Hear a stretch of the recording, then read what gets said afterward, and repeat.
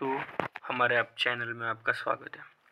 तो आज हम आपको दिखाने वाले हैं कपास की खेती, कि हमने किस तरह कपास की खेती का नियोजन किया है, कपास को कौन से कौन से स्प्रे लिए थे कौन कौन सा कौन सा खाद डाला था, जिसके कारण हमारे कपास की क्वालिटी नंबर वन है, और अब जो मार्केट में रेट चल रहा है कपास का, उसके कारण हमें पता है कि हम कितने फ़ायदे में रह सकते हैं। तो देखिए दोस्तों वाइट फ्लाई का जो भी अटैक आता है, जो पांड्री माशी हम जिसे बोलते हैं, जो हमारे कपास की खेती में आती है, वो सबसे बड़ा कारण है कि हमारे यहाँ के लिप्स को ख़राब करता है। हमारे यहाँ के लीव्स को ख़राब करता है, जिसके कारण हमारे यहाँ की क्वालिटी ख़राब होती है।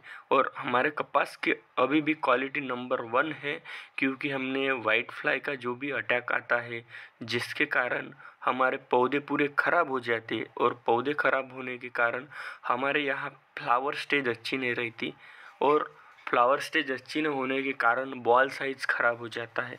हमारे यहाँ का देख सकते हैं आप हमारे यहाँ का बॉल साइज़ भी अच्छा है, जिसके कारण हमारा प्लॉट एकदम से माहौल में दिख रहा है। अभी अभी हम खेत में आए हैं, अभी सुबह का टाइम है।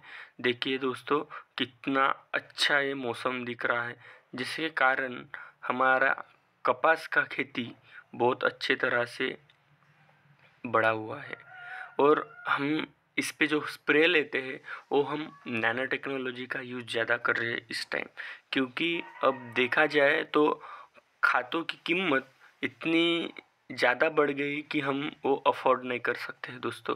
और नैनो टेक्नोलॉजी से जो कुछ भी डेवलप किए खत है, जैसे बीस बीस ज़ीरो तेरह है और सोलह ज़ीरो फोर्टी एट है, इस इस लाइक दिस नेम बहुत सारे खाद है, जो आप अपने यहाँ स्प्रे कर सकते हैं। और देखिए दोस्तों, हमारे यहाँ के फ्रेश कितने, लीव्स कितने फ्रेश दिख रहे हैं। क्योंकि हमने जो भी स्प्रे लिए थे, बहुत ही सोच समझ कर हमने स्प्रे लिए। क्योंकि ज़्यादातर करके हमारे यहाँ बायोस्टिमुलेंट का यूज़ नहीं करना है दोस्तों। अगर हम बायोस्टिमुलेंट का यूज़ करते हैं तो हमारे यहाँ की अननेसेसरी ग्रोथ होती है। अगर हमारे यहाँ अननेसेसरी ग्रोथ हो गई तो हमें बाद में बहुत सारा पछतावा होगा। पहले पहले स्टार्टिंग में लगता है कि नहीं, अच्छी ग्रोथ हुई है अच्छा हुआ है। लेकिन बाद में हमारे यहाँ जब रोगों का प्रादुर्भाव बढ़ता है, तब लगता है हमें कि हमारे यहाँ की अगर ग्रोथ नहीं होती तो अच्छा होता।